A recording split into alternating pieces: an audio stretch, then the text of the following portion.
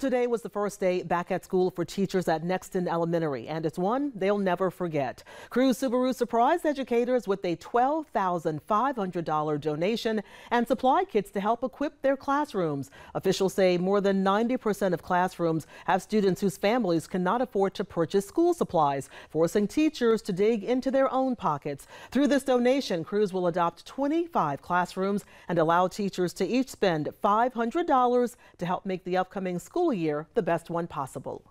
And this is one of the special days that we look forward to in uh, helping teachers get a good start in teaching uh, our future. Organizers say this is the third year the two have partnered and as part of a year-round commitment to give back to the Low Country.